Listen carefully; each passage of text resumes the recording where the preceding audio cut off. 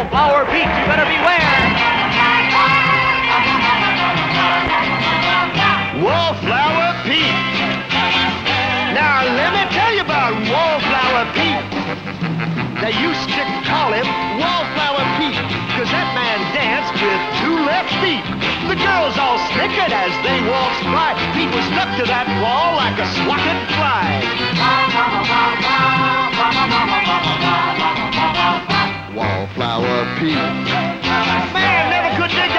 That three-quarter beat.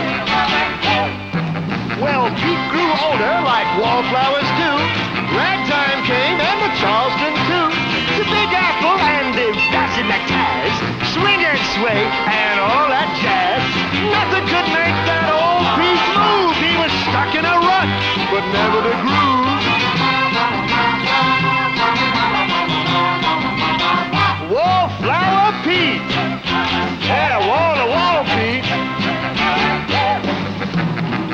One day, while Pete was on the go, he found himself a new place called the Dance-A-Go-Go. The floor was so jammed and the music so hot, no one knew if they had a partner or not. Pete got all shook up. He couldn't find the wall. His body started shaking. He was having a ball. His arms went east. His feet went west. He was jerking away like all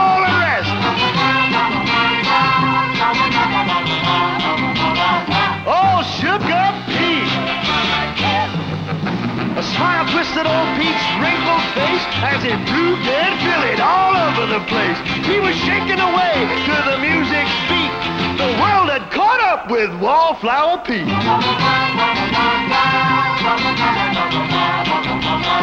What see Pete?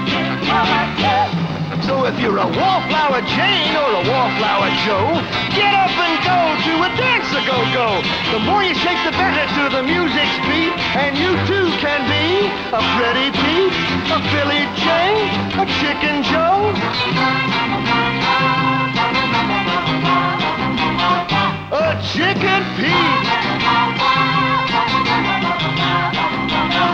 A Swimming Pete.